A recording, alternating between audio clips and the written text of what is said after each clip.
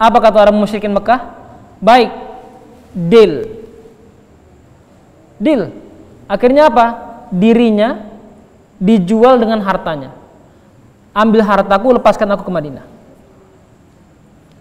Kalau hartanya satu juta, oke okay lah, nggak masalah sama kita. Kalau hartanya 100 miliar, coba kita hari ini ditantang pilih mana, kamu dibunuh atau 100 miliar? Bingung. Walaupun taruhannya nyawa, bingung. Kalau taruhannya iman, yakin kita banyak yang gagal. Pilih mana? Iman 100 miliar. Wah berat ini. uang yang nggak ditawar saja diambil, ya kan? Yang tidak ditawar saja diambil, yang bukan haknya diambil, apalagi ditawar ini. Berapa banyak yang telah menjual dan berhasil menjual imannya untuk hitungan-hitungan rupiah. Akhirnya Suhaib pergi ke Rasulullah SAW. Sampai di Madinah tanya mana Rasulullah? Rasulullah di masjid. Datanglah ke Rasulullah. Sebelum Suhaib datang, turun ayat memuji Suhaib. Apa kata Rasulullah? Ya Suhaib tijaratan dan tabur. Perdagangan yang tidak ada ruginya. Apa kata Suhaib? Ya Rasulullah, apakah ayat itu untuk untukku? Kata Rasulullah, ayat itu untukmu. Menangis Suhaib. Menangis Suhaib. Ayat turun atas pengorbanan dirinya, bayangkan luar biasa. Semoga Allah Subhanahu wa taala menanamkan kekuatan iman dalam hati kita melebihi sayangnya kita pada dunia ini. Yang keempat, bahwa ketiga ayat tersebut menyebut tiga prinsip hidup. Yaitu yang pertama iman, yang kedua hijrah, yang ketiga jihad.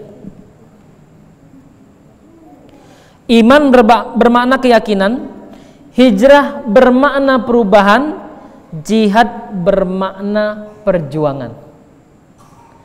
Iman bermakna keyakinan, hijrah ber, ber, ber, bermakna perubahan, dan yang ketiga jihad bermakna perjuangan.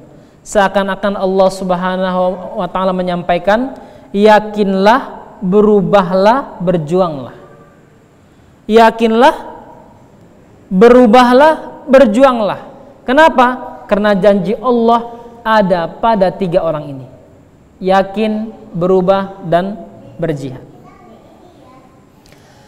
Bapak Ibu sekalian yang dirahmati Allah Subhanahu wa taala. Karena begitu jelasnya ayatnya, begitu pastinya ayatnya, janji Allah tidak akan mungkin uh, di, tidak ditepati sampai-sampai hijrah ini menjadi prinsip dalam kehidupan manusia.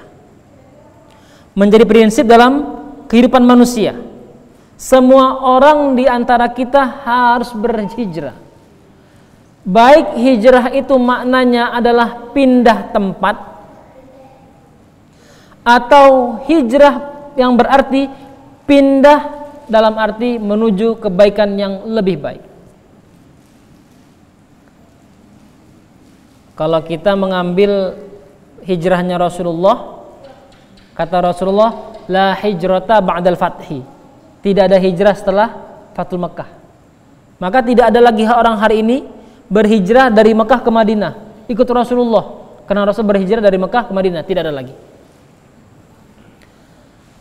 Tetapi kata Rasulullah SAW walakinna jihad. Yang ada adalah perjuangan. Perjuangan menuju arah yang lebih baik. Ini perpindahan tempat. Yang kedua, perpindahan maknawi.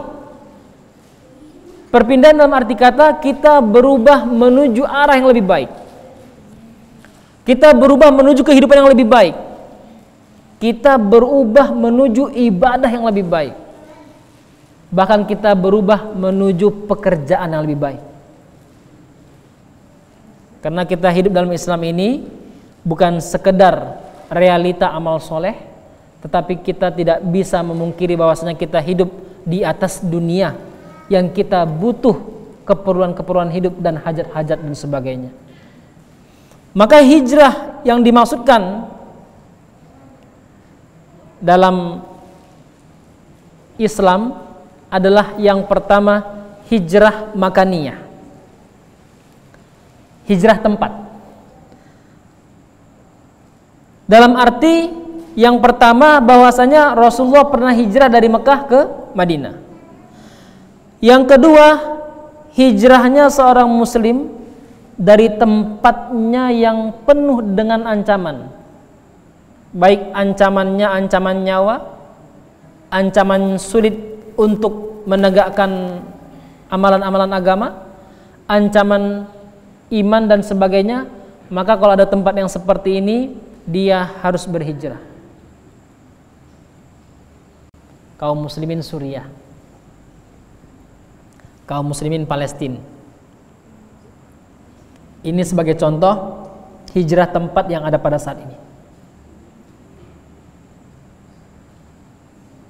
Maka hijrah yang seperti ini wajib hukumnya. Kaum muslimin Suriah wajib berhijrah untuk menyelamatkan nyawa mereka.